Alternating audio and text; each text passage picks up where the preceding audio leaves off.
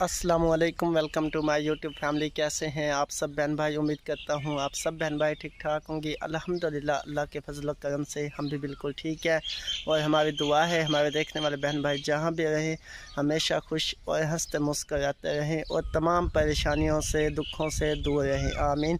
इसी नेक सी प्यारी सी दुआ के साथ आज का भी शुरू करते हैं। तो अभी दिन का टाइम है, तकरीबन साढ़े दस का। ग्यारह होने वाली है तो मौसम हमारा आज भी माशाल्लाह से बहुत अच्छा बना हुआ है। कोई ज़्यादा गर्मी नहीं है, हवा चली हुई है, धूप तेज़ निकली हुई है, लेकिन हवा भी चली हुई है। तो एक हमारे लिए परेशानी बन गई है कि पिछले दो तीन दिन से अम्मी जो है ना कह रही है कि मतलब कि छोटे पेशाब में भी रुकावट हो रही है, उसके बाद ना उसका जो पेट है ना वो फुल आता है। तो हमने सोचा कि अम्मी को ले जाता हूँ हॉस्पिटल। अभी जो है ना उसका चेकअप करवाता हूँ, क्योंकि आजकल बहुत ज़्यादा ख़तरनाक बीमारियाँ आ चुकी हैं, कोई पता नहीं लगता। मैंने कहा कि इसमें जो है ना सुस्ती बिल्कुल भी नहीं करनी। आप तैयारी करें, मैं आपको जो है ना हॉस्पिटल लेके जाता हूँ। वहाँ पे जो है ना आपका चेकअप करवाता हूँ, मशीनें जो होती है ना वो लगती है ना तो वो बता देते हैं। तो अम्मी ने अभी तैयारी कर ली है तो अभी हॉस्पिटल चलते हैं। आप सब बहन भाइयों ने दुआ करनी है कि कोई बड़ी बीमारी ना हो, अल्लाह माफ़ करे, अल्लाह ना करे। जैसे जो है ना, पत्थरी और इस तरह बहुत सी गंदी गंदी बीमारियाँ आई हुई हैं, अल्लाह माफ़ करे।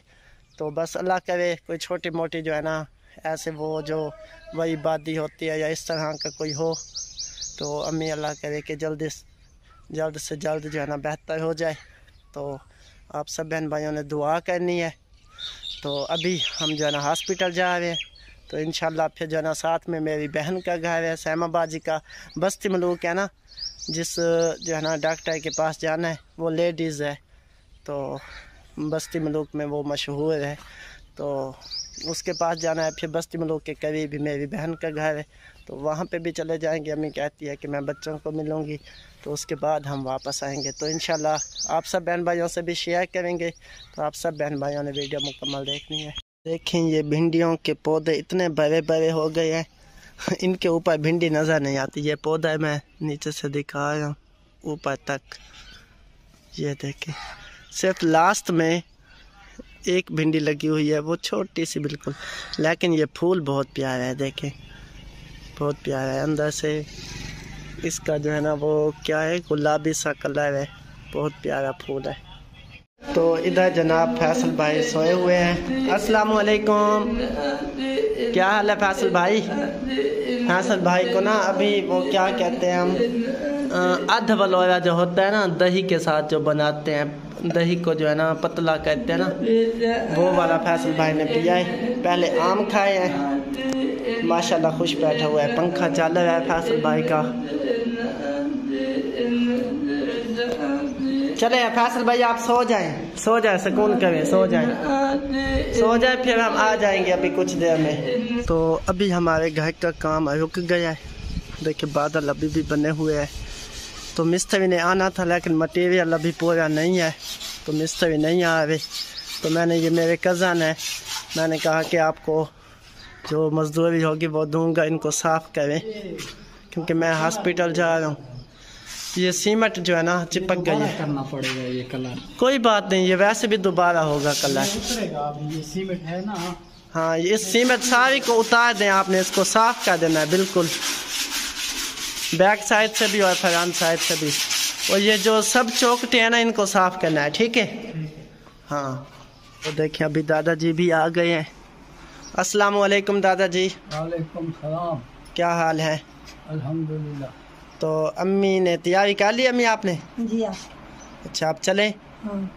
चलो ठीक है अभी चलते हैं। तो समीना बाजी इधर बैठी हुई है। क्या हाल है समीना बाजी? आम खा दई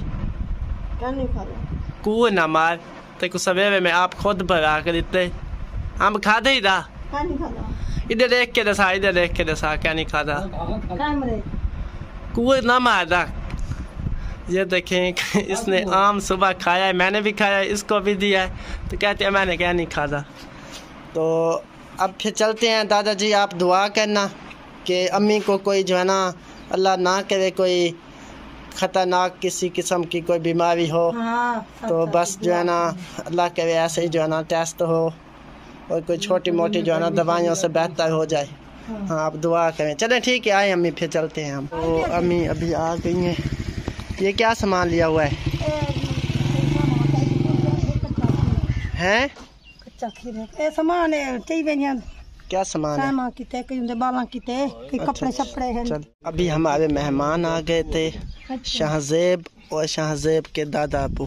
तो इनको बोतल वगैरह पिलाई है हम इनकी तरफ़ जा रहे हैं और ये हमारी तरफ़ आ गए वापस जाना है?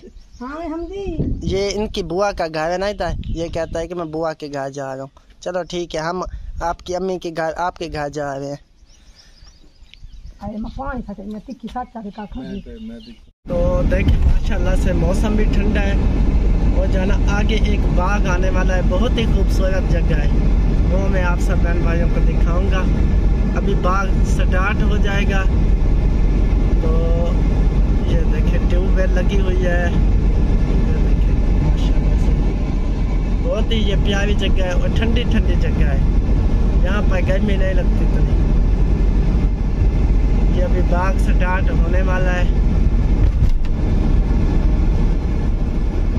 ये देखिए बाग स्टार्ट हो चुका है ये देखिए।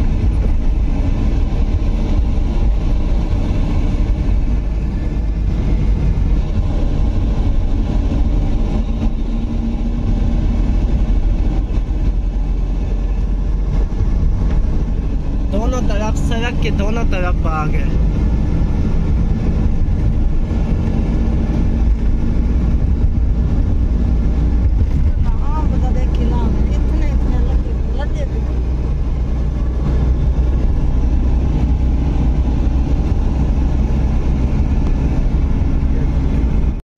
बच्चों के लिए जाना इधर से हमने केले लेने हैं। केले ठीक है ना मैं जी हाँ सही है। हाँ तो इधर से केले ले रहे हैं बच्चों के लिए।